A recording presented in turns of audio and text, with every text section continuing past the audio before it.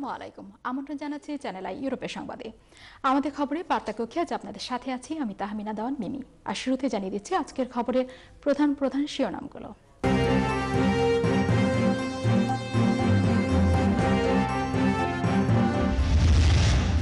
Court of আপিলের রায়ে bedroom tax মামলায় হেরে গেল সরকার।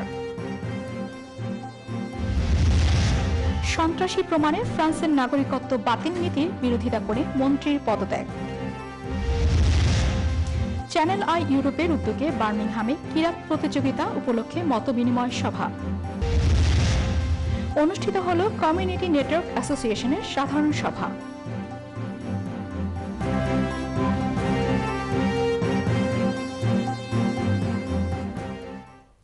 দর্শক, শুনছিলেন খবরের প্রধান শিরোনামগুলো। এবারে চলে যাচ্ছি বিস্তারিত সংবাদে। কোর্ট অফ আপিলের রায়ে বহুল আলোচিত বেডরুম ট্যাক্স মামলায় হেরে গেছে ব্রিটিশ সরকার। বুধবার রাতে বিবিসির খবরে এ তথ্য জানানো হয়। কোর্ট অফ আপিলের রুলিংয়ে বলা হয়েছে, বেডরুম ট্যাক্স ডোমেস্টিক ভায়োলেন্সের ভিকটিম ও ডিসেবল শিশু কিশোরদের পরিবারের জন্য বৈষম্যমূলক।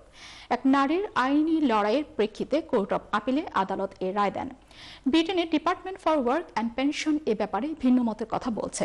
প্রধানমন্ত্রী ডেভিড ক্যামেরন বলেছেন, আদালতের রায় সরকার অত্যন্ত সতর্কতার সাথে দেখছে। প্রধানমন্ত্রী বলেন, যদি প্রাইভেট সেক্টরে ভর্তুকি না দেওয়া হয়, তাহলে এক্ষেত্রে সোশ্যাল সেক্টরে ভর্তুকি দেওয়া অস্বচ্ছ এটি সরকারের মৌলিক অবস্থান। বিবিসির লিগেল করেসপন্ডেন্ট ক্লাইভ কোলম্যান বলেছেন আদালতের এই রুলিং ডিসেবল শিশু ও ডোমেস্টিক ভায়োলেন্সের ভিকটিম মূলত এ দুটি নির্দিষ্ট গ্রুপের মানসিক ক্ষেত্রে প্রযোজ্য হবে। এ রায়টি জুডিশিয়াল রিভিউর ক্ষমতার আরেকটি উদাহরণ বলেও মন্তব্য করেন তিনি। যদিও মামলাটিতে আবারও আপিল করার কথা বলেছেন মন্ত্রী, মামলাটি এখন ব্রিটেনের সুপ্রিম কোর্টের সিদ্ধান্তের অপেক্ষা রয়েছে। দুই সালে হাউজিং এর টেনেন্টদের স্পেয়ার বা অতিরিক্ত রুমের জন্য রুম প্রতি বেডরুম ট্যাক্সের আওতায় আনার ঘোষণা দেয়।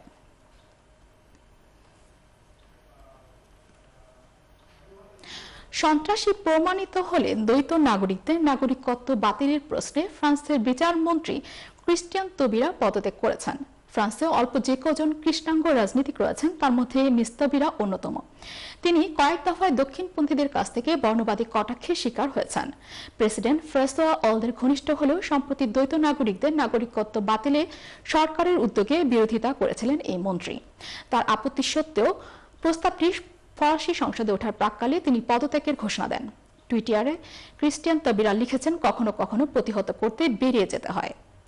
নভেম্বরে প্যারিসে সন্ত্রাসী হামলার পর ফ্রান্সের সরকার চাইছে সন্ত্রাসের সাথে যোগসূত্র খুঁজে পেলে দ্বৈত নাগরিকদের ফরাসি নাগরিকত্ব বাতিল করা হবে। এ ব্যাপারে সংবিধান পরিবর্তন করার জন্য সংসদে আইন পাশের উদ্যোগ নেওয়া হয়েছে।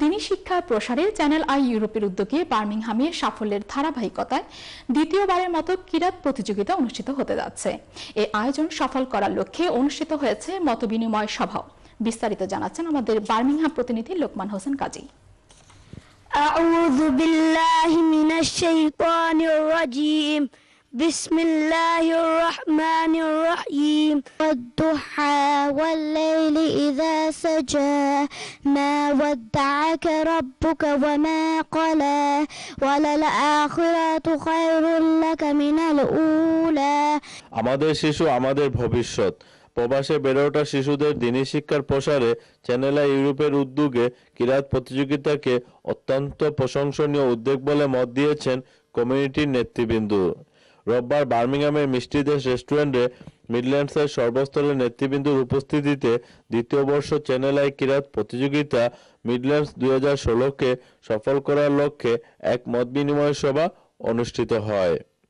বার্মিংহামের প্রবীণ কমিউনিটি নেতা আলহাজ নাসির আহমদের সভাপতিত্বে ও চ্যানেল আই ইউরোপের বিশেষ প্রতিনিধি আবদুল্লাহ সুমনের সঞ্চালনে অনুষ্ঠানে আগামী তিরিশে মার্চ বুধবার বাছাই পর্ব ও ছয় এপ্রিল বুধবার চূড়ান্ত পর্ব অনুষ্ঠানের সার্বিক দিক নিয়ে আলোচনা করা হয়।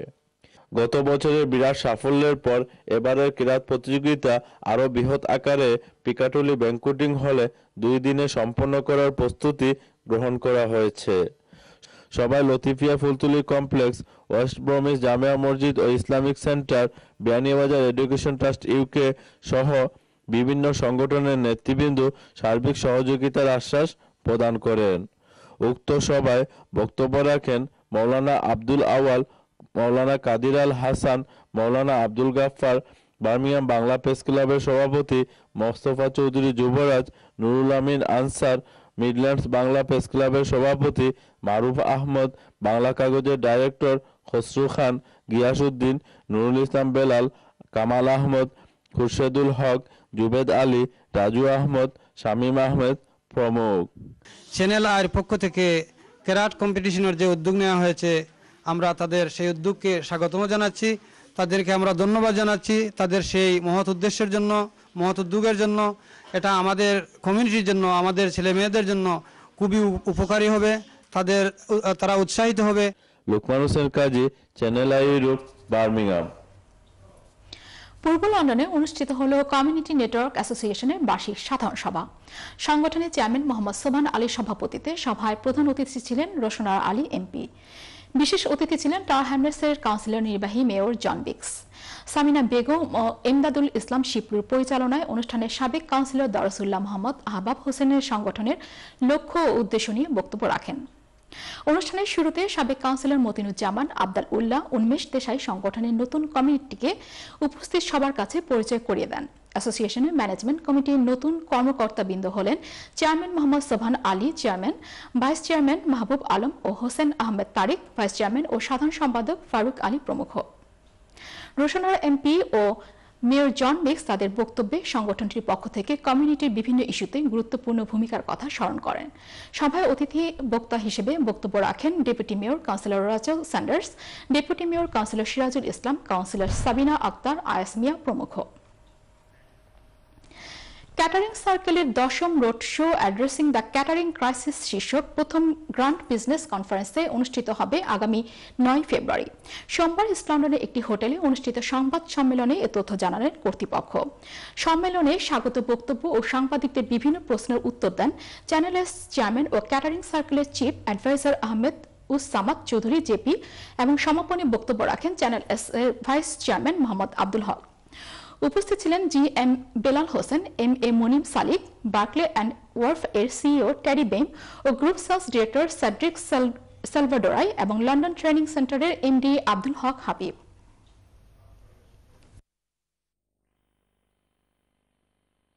ইন্ডাস্ট্রি সেই কেটারিং ইন্ডাস্ট্রি থেকে আমাদের যা কমিউনিটির যাত্রা শুরু।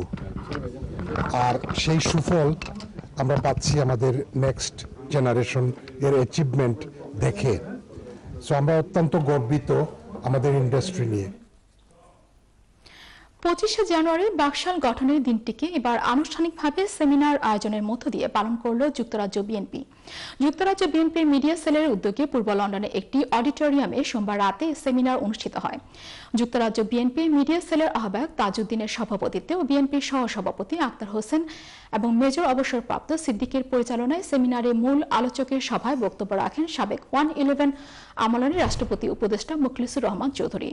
সেমিনারে বক্তব্য রাখেন আলহাজ এম এ মালিক, শিক্ষাবিদ Mamunur Morshed, barrister M A Salam, councillor Ohid Ahmed, Koyesor M Ahmed, Shaista Chowdhury Kuddus, সাংবাদিক অলিউল্লাহ নোমান, আব্দুল হামিদ চৌধুরী, লুৎফর রহমান, নাসিম আহমেদ চৌধুরী প্রমুখ।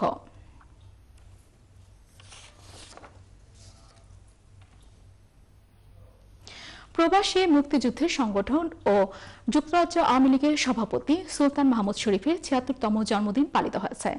গতকাল সৈয়দা রেখা ফারুকের সার্বিক তত্ত্বাবধানে জন্মদিন অনুষ্ঠানে কমিউনিটির বিভিন্ন প্রতিষ্ঠান ও সংগঠনের নেতৃবৃন্দ ছাড়াও সর্বস্তরের জনগণ এতে অংশ নেন।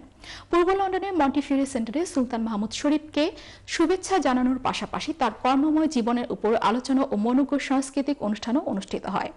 এই সময় তাকে শুভেচ্ছা জানান যুক্তরাজ্যস্থ বাংলাদেশ হাই কমিশনের পক্ষ থেকে সাইম আহমেদ।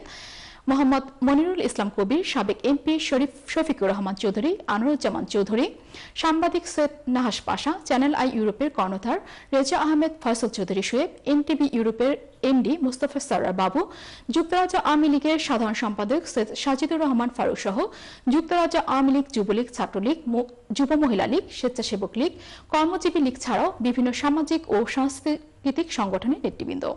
উল্লেখ্য, সুলতান মাহমুদ শরীফ উনিশশো একচল্লিশ সালে বরিশালের এক সম্ভ্রান্ত পরিবারে জন্মগ্রহণ করেন। দুই হাজার এগারো সাল থেকে তিনি যুক্তরাজ্য আওয়ামী লীগের সভাপতি দায়িত্ব পালন করে আস- আসছেন।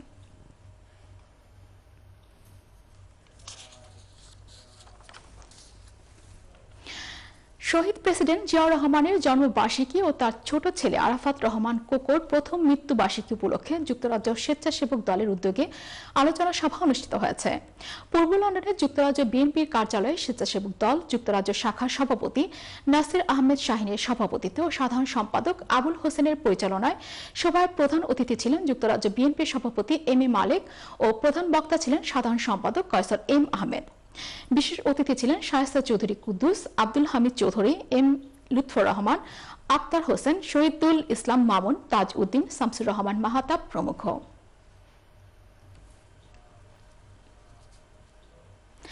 পূর্ব লন্ডনে একটি হলে রেনেসা সাহিত্য মজলিস, ইউকের মাসিক সাহিত্য সভা ও এক দোয়া মাহফিল অনুষ্ঠিত হয়েছে। সংগঠনের সভাপতি কবি মোহাম্মদ রহমত আলী পাতনি সভাপতিত্বে সেক্রেটারি কবি শিহাবুজ্জামান কামালের সঞ্চালনায় সভায় কবি ও মাসিক আল হেলাল পত্রিকার সম্পাদক মরহুম মোহাম্মদ আবুল হায়াত জালালি বাদির জীবন ও সাহিত্য কর্ম নিয়ে আলোচনা করেন বিশিষ্ট সাংবাদিক কে এম আবু তাহের চৌধুরী, অধ্যাপক আব্দুল কাদের সালে সাপ্তাহিক দেশ সম্পাদক তাইসির আহমেদ ও মাওলানা রফিক আহমেদ রফিক মাওলানা আবুল হাসনাত চৌধুরী মাওলানা রেজাউল হক, আলহাজ মোহাম্মদ নূর বক্স শেখ ফারুক আহমেদ, আব্দুল মালিক কুটি, শাহ এনায়েত করিম মাওলানা রায়হান উদ্দিন, কবি আবুল হাসনাত প্রমুখ। বক্তারা বলেন, কবি আবুল হায়াত জালালাবাদী জীবনভর সত্যের পক্ষে লিখে গেছেন। ইসলামিক কনফারেন্স সেমিনার ও ব্রিটেনের শিশু কিশোরদের বিভিন্ন ক্ষেত্রে ট্রেনিং কার্যক্রম পরিচালনা করে আসছেন association of Islamic teachers UK মঙ্গলবার পূর্ব লন্ডনের কয়েক করতুরা সেন্টারে অ্যাসোসিয়েশনের চেয়ারপারসন মালানা হেলাল উদ্দিন আহমেদের সভাপতিত্বে ও সেক্রেটারি মালানা আব্দুল করিমের পরিচালনায় সংগঠনের সভা অনুষ্ঠিত হয়। সভায় বক- বক্তব্য রাখেন হাফেজ মালানা সিদ্দিকুর রহমান মালানা আব্দুল খালিক সাহেব মালানা দিলর হোসেন মালানা নাসির উদ্দিন মালানা সাদিকুর রহমান, হাফেজ মালানা আবুল হোসেন খান মালানা মোকাররম আলী মালানা আব্দুর রহমান মাদানী প্রমুখ।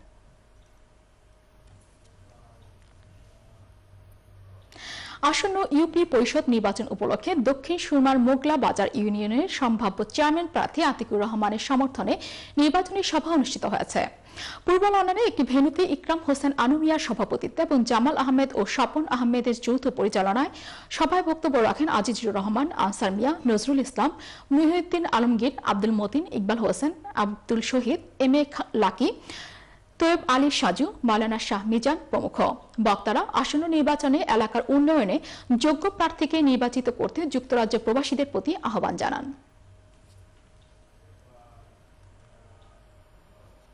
প্রিয় দর্শক, আপনারা দেখছেন আমাদের খবর। যাচ্ছে ছোট্ট একটি বিজ্ঞাপন বিরতিতে ফিরে এসে থাকছে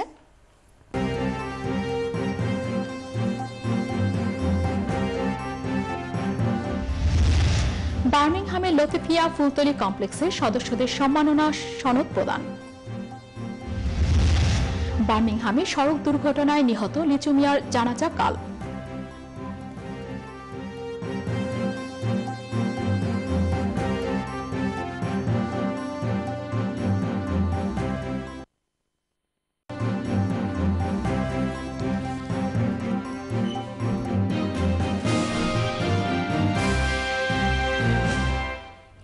বিরতির পর আবারও আমন্ত্রণ আমাদের খবরে। সঙ্গে থাকার জন্য ধন্যবাদ সবাইকে।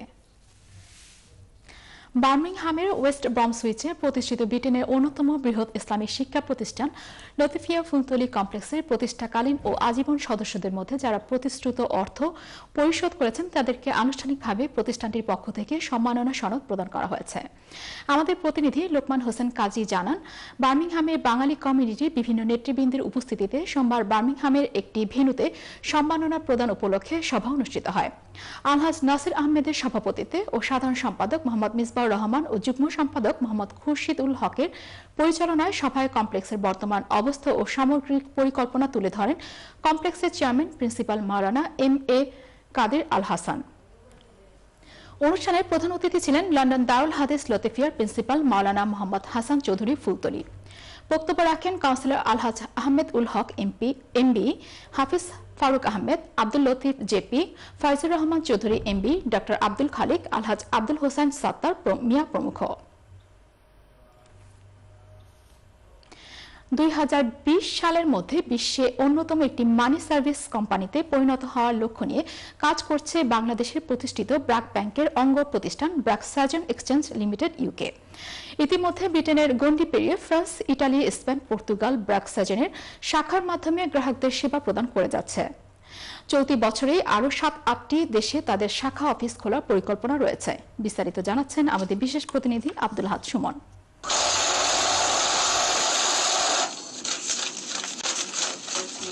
প্রায় ষাট লোকের উপরে প্রবাসী বাংলাদেশি বসবাস করেন বিশ্বের বিভিন্ন দেশে। তাদের পাঠানো অর্থে বাংলাদেশে বর্তমানে বৈদেশিক মুদ্রা রিজার্ভের পরিমাণ প্রায় সাতাশ পয়েন্ট পাঁচ মিলিয়ন ডলার। শুধুমাত্র ইউকেতে প্রায় পাঁচ লক্ষের উপরে বাংলাদেশি বসবাস করেন। প্রতিনিয়ত তারা আত্মীয় স্বজন পরিবার পরিজনের জন্য অর্থ প্রেরণ করে থাকেন। বাংলাদেশ সহ বিশ্বের বিভিন্ন দেশে অর্থ প্রেরণের ক্ষেত্রে ইতিমধ্যে যথেষ্ট সুনাম ও বিশ্বস্ততা অর্জন করেছে বাংলাদেশের প্রতিষ্ঠিত ব্রাক ব্যাংকের অঙ্গ প্রতিষ্ঠান BRAC Saajan exchange limited UK ব্যবসার ক্ষেত্রে শুধু প্রফিট নয়, গ্রাহকদের উন্নত সেবার মান বজায় রেখে ব্যবসা পরিচালনা করাই মূল লক্ষ্য বলে জানালেন ব্রাক সার্জন এক্সচেঞ্জ লিমিটেডের এমডি ও সিইও আব্দুল সালাম। আমরা ব্র্যাক সার্জানেরই একটা প্রতিষ্ঠান ব্র্যাক সার্জানির একটা সাবসিডি এটা আমরা সবচেয়ে গুরুত্ব দেওয়া হয় যে কাস্টমারের জন্য তার সার্ভিসটা দ্রুত হয় এবং সে যত শর্ট সময়ের মধ্যে বাংলাদেশে তার টাকাটা পৌঁছে যায়। এটাই আমাদের মেইন আমাদের ইয়ে প্রায়োরিটি হলো এটা আর কি, আমাদের কাস্টমার আমাদের বিজনেসের দু সালে শুরু হওয়া ব্রাক সার্জনের দুটি ব্রাঞ্চ ও দুশোটির উপরে এজেন্ট রয়েছে। ইউকের বাহিরে ফ্রান্স, ইতালি, স্পেন, গ্রিস ও পর্তুগালেও ব্রাক সার্জনের শাখা অফিস রয়েছে। এই সবকটি ব্রাঞ্চ ও এজেন্টদের মাধ্যমে বাংলাদেশে অতি দ্রুততম সময়ে অর্থ প্রেরণ করা হয়ে থাকে। ডাক ব্যাংকের দশ মিনিটের সার্ভিসের সাথে উত্তরা ব্যাংক ও ইসলামিক ব্যাংকও যোগ হয়েছে। ব্র্যাক সার্জন এক্সচেঞ্জ মোট বারোটি ব্যাংকের মাধ্যমে বাংলাদেশে money transfer pin number service ও বিকাশের মাধ্যমে বাংলাদেশে অর্থ প্রেরণ এবং পাকিস্তানের বিভিন্ন ব্যাংকেও অর্থ প্রেরণ করে থাকে। বিগত দিনগুলোতে অর্থ প্রেরণের ক্ষেত্রে বিভিন্ন কোম্পানির নানা রকম সমস্যা হলেও ব্র্যাক সার্জন এক্সচেঞ্জের কোনো প্রকার সমস্যা আজও হয়নি। বরং উন্নত সেবা ও স্টাফদের অক্লান্ত পরিশ্রমের মাধ্যমে ব্যবসার পরিধি প্রতিনিয়ত বৃদ্ধি পাচ্ছে। দু হাজার পনেরো সালে ব্র্যাক সার্জন এক্সচেঞ্জের পক্ষ থেকে গ্রাহকদের জন্য প্রিপেড কার্ড চালু করা হয়েছে, যাহা বিশ্বের যে কোনো দেশে ব্যবহার করা যাবে। টাকা প্রেরণের ক্ষেত্রে প্রতিষ্ঠিত এবং বিশ্বস্ত কোম্পানির সাথে লেনদেন করারও অনুরোধ জানান ব্র্যাক সার্জনের এমডি ও সিইও যেটা হলো যে আপনারা যে গ্রাহক যারা আছেন সবার কাছে আমার অনুরোধ থাকবে যে আমরা শুধু যেন রেটের পিছনে আমরা না যাই। আমরা যেন যে কোম্পানি যারা প্রতিষ্ঠিত আছে যাদের রেপুটেশন ভালো আছে যারা লং টাইম এই ইন্ডাস্ট্রিতে আছে যারা জানে চিনে এই কোম্পানি দ্রুত যেন রিমিটেন্স করা হয়। এটাই আমার অনুরোধ থাকবে গ্রাহকদের কাছে।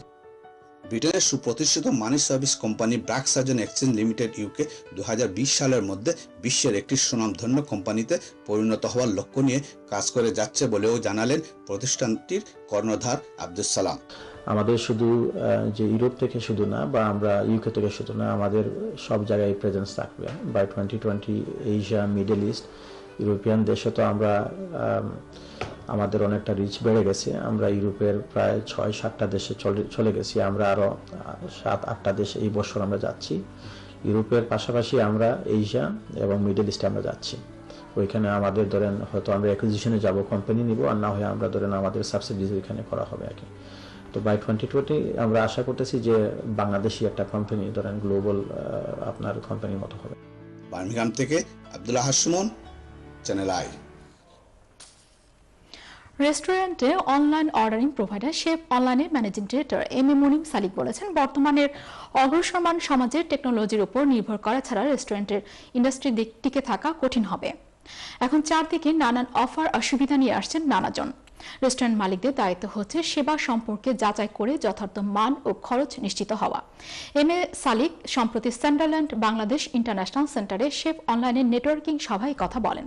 এতে আরও নেন, আরও অংশ নেন শেফ অনলাইনের মার্কেটিং ডিরেক্টর আক্তারুজ্জামান সভায় বক্তৃতা করেন সৈয়দ খালিদ মিয়া ওয়ালিদ, ব্যবসায়ী সৈয়দ দুলাল, ফয়সল চৌধুরী ও মতিন রহমান সহ আরও অনেকে।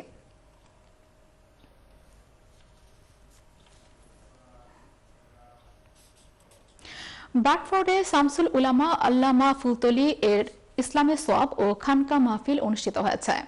আমাদের প্রতিনিধি শেখ মোহাম্মদ লাইক মিয়া জানান, স্থানীয় শাহজালাল লতিফিয়া একাডেমিতে ফুলতলি রহমতুল্লাহ আলাহি ও বিশিষ্ট মুরব্বী হাজি ময়না মিয়ার ইসালে সোয়াব উপলক্ষে আয়োজন করা হয় ওয়াজ ও মিলাদ মাহফিলের।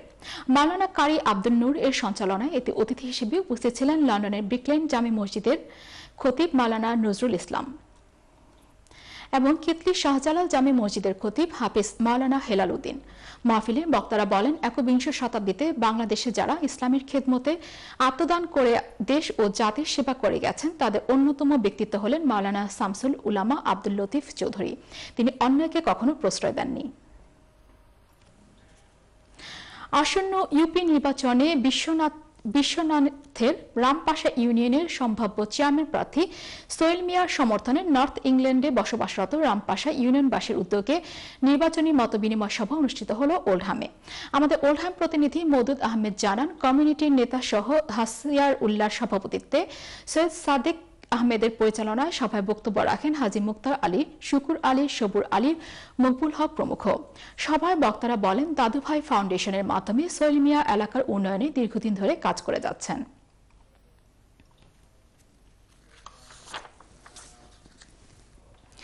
সড়ক দুর্ঘটনায় নিহত বার্মিংহামের স্পার্ক হিলের বাসিন্দা মোহাম্মদ লিচু মিয়ার জানাজা কাল বৃহস্পতিবার বার্মিংহামের কভেন্ট্রি রোড জামে মসজিদ অ্যান্ড ইসলামিক সেন্টারে অনুষ্ঠিত হবে।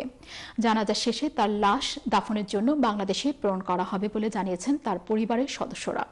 উল্লেখ্য, গত রোববার রাত একটায় কাজ শেষে ঘরে ফেরার পথে মারাত্মক সড়ক দুর্ঘটনায় ঘটনাস্থলেই নিহত হন তিনি। ইন্নালিল্লাহে ও ইন্নালিল্লাহে রাজিউন। মৃত্যুকালে তিনি সন্তান সম্ভাবনা, স্ত্রী ছাড়াও এক ছেলে ও এক মেয়ে সহ অসংখ্য গুণগ্রাহী রেখে গেছেন। মরহুমের দেশের বাড়ি সিলেটের জগন্নাথপুর উপজেলার বলবল গ্রামে।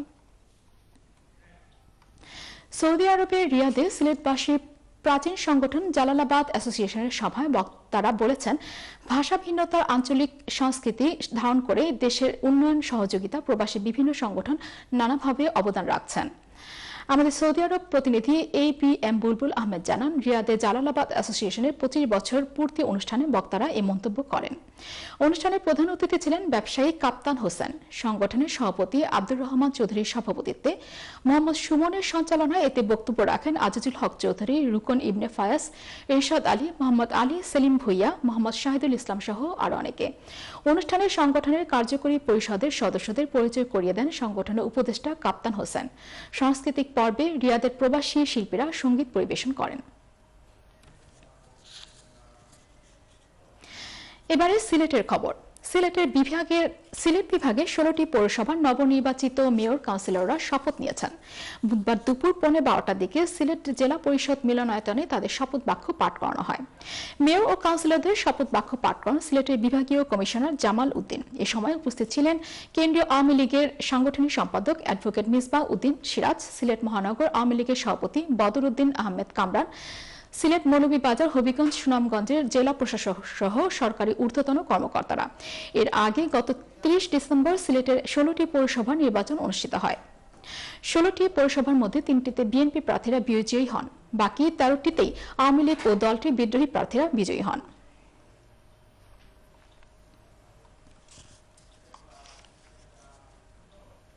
জাতীয় সংসদের বিরোধী দলীয় হুইপ ও সিলেট পাঁচ আসনের এমপি আলহা সেলিম উদ্দিন বলেছেন, একসময় ব্রিটিশরা আমাদের শাসন করেছিল আর বর্তমানে আমাদের দেশের সুযোগ্য সন্তানরাই এখন ব্রিটিশদের প্রতিনিধিত্ব করছেন।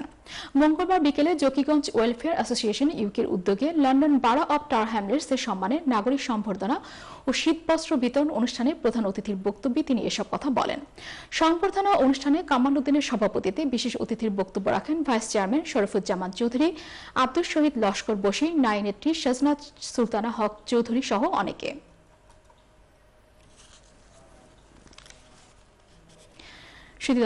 এ ছিল আমাদের আজকের আয়োজন। শেষ করার আগে আবারও জানিয়ে দিচ্ছি আজকের খবরের প্রধান প্রধান শিরোনামগুলো।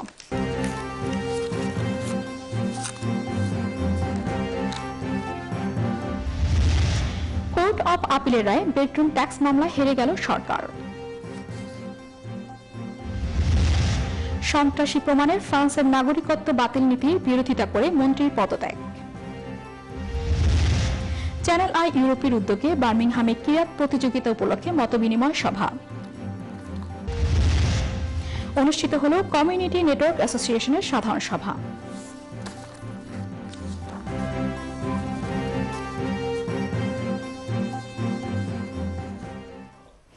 সুধী দর্শক, এ ছিল আমাদের আজকের আয়োজন। আগামীতে আমাদের খবর দেখার আমন্ত্রণ জানিয়ে বিদায় নিচ্ছি। ভালো থাকুন। আল্লাহ হাফেজ।